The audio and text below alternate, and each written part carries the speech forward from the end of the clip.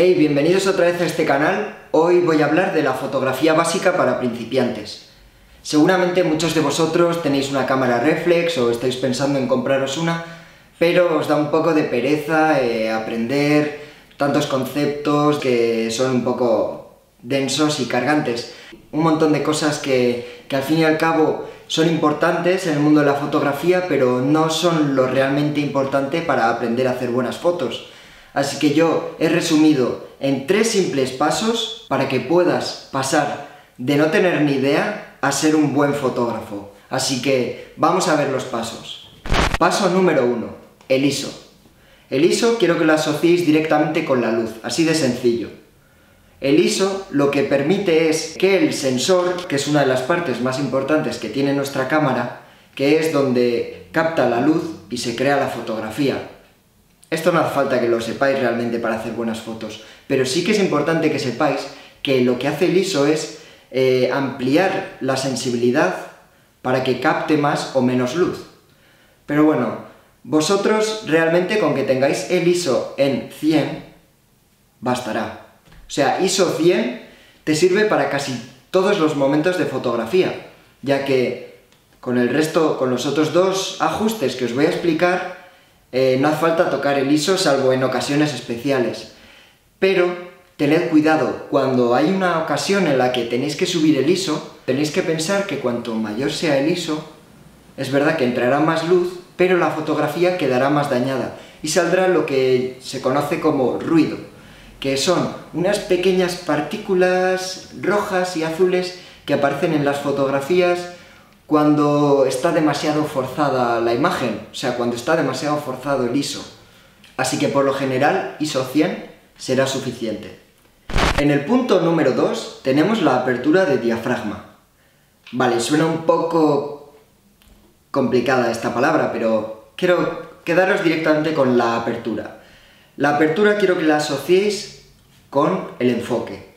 Simple y llanamente. Puedes subir o bajar la apertura, o sea, hacerla más grande o más cerrada, y lo que te hará es que el fondo quede más desenfocado, o al revés, que quede todo enfocado. Es bastante sencillo. Por ejemplo, eh, los objetivos, habitualmente los de kit, que son los normales para iniciación, eh, tienen una máxima apertura de f3.5, por ejemplo. Ese suele ser el máximo, la máxima apertura. Pero luego hay objetivos un poco más profesionales que ya iréis viendo, en los que, por ejemplo, tenéis incluso f1.8, f1.4, y luego puedes cerrarlo hasta que sea, por ejemplo, f22.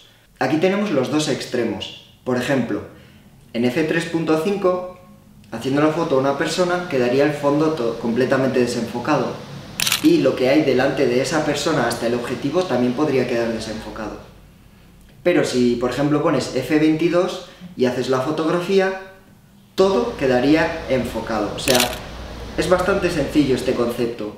Habitualmente me gusta que quede lo más abierto posible. F3.5 si es tu caso, F1.8, F1.4 lo más abierto que puedas normalmente te va a dar mayor calidad a la fotografía y una estética más bonita. Es verdad que en según qué ocasiones deberías cerrar más el diafragma. Por ejemplo, haciendo fotografía de paisaje, necesitarías quizá F4, F8, dependiendo un poco la situación, pero eso poco a poco se va uno dando cuenta, así que pasamos con el tercer y último punto. Por cierto, si te está gustando el vídeo que estoy haciendo, eh, déjame en los comentarios si quieres seguir aprendiendo cosas de fotografía. Y suscríbete, que no cuesta nada. Tercer y último punto, que es la velocidad de obturación. La velocidad de obturación quiero que la asociéis directamente con el movimiento. Cuando quieres captar el movimiento congelado, o sea, alguien que está saltando a la piscina y quieres hacerle la foto en el momento en el que está en el salto o al revés, o quieres eh, hacer, por ejemplo, una fotografía en la calle y que el coche se mueva un poco y quede como borroso y el resto nítido. Eso se consigue haciendo que la velocidad sea más alta o más baja. Vamos a hacer ahora lo de que capte el agua quieta o el movimiento.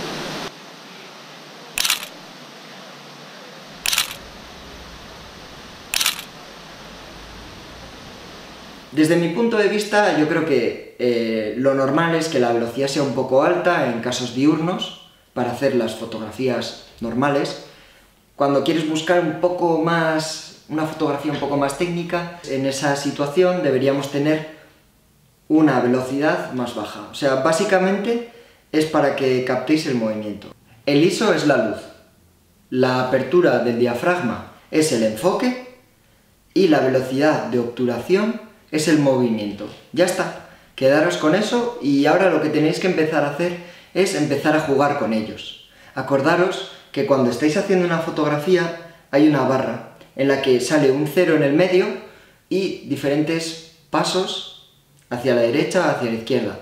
En esa barra lo que te indica es cuando la fotografía está en una exposición perfecta, o sea, cuando está en el cero, la luz está bien. Puedes ir tocando las tres cosas hasta jugar con ellas para que quede en cero.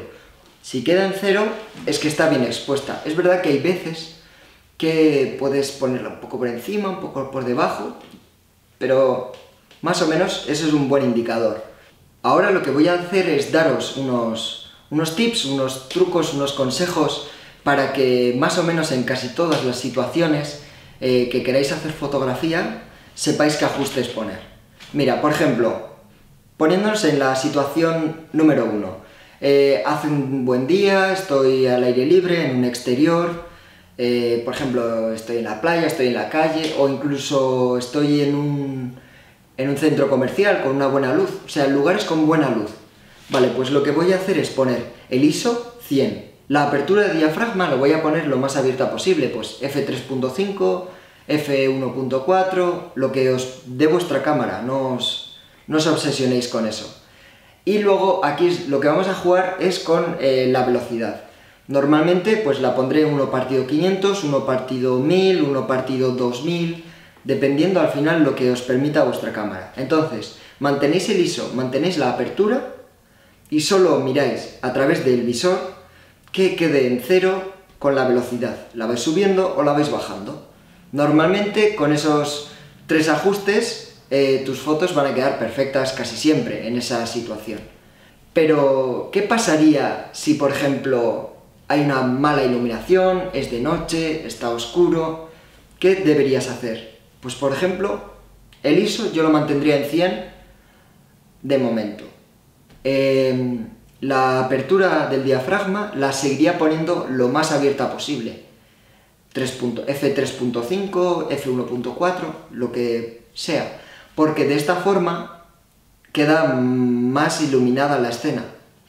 Cuanto mayor es la apertura, más iluminación entra.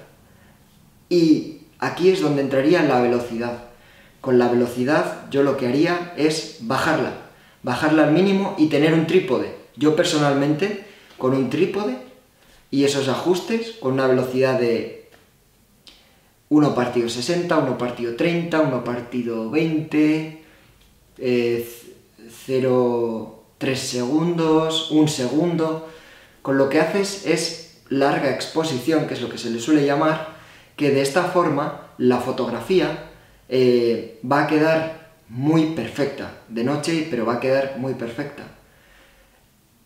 ¿Qué es lo que pasa si no tienes un trípode? Bueno, en primer lugar, puedes comprarte un trípode por muy poco dinero porque realmente por 20 euros, 20 dólares, 15, 15 euros, hay trípodes bastante manejables eh, que van a cumplir la función igual como, que como si fuera un trípode muy caro, así que por una pequeña inversión nos va a cambiar la vida, de verdad. Yo cuando me compré un trípode, recuerdo perfectamente la primera cosa que hice con el trípode y, y me quedé encantado porque tanto en fotografía como en vídeo, ganas muchísimo. Pero ¿qué ocurre si no tienes trípode ahora mismo y quieres hacer fotos de noche? Sube el ISO. Sube un poco el ISO, pero ten cuidado de no castigar demasiado la imagen. Así que sube un poco el ISO, pero mantén un poco los otros valores y haz una fotografía.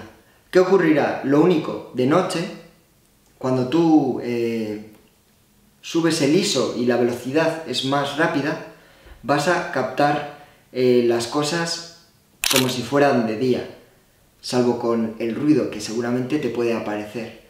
Pero si lo haces de la forma que yo estaba diciendo, con un trípode y bajando la, la velocidad, te vas a, encontrar con un nuevo mundo en el que los vehículos se ven las luces, las estelas, eh, incluso te puedes ir a, a, la naturaleza, hacer fotos de estrellas. Pero bueno, básicamente eso da para otro vídeo en el que ya os, ya os explicaré mis experiencias con la fotografía nocturna. Y nada, yo creo que con estos tres pasos y un poco esta, estos tips, estas situaciones, podéis empezar a hacer muy buenas fotos en modo manual y dejar de obsesionaros con otros rollos, otras palabras, que si histograma, que si balance de blancos, que si... Olvidaros de esas cosas y quedaros con las tres que os cuento, así que nada, nos vemos en el próximo vídeo.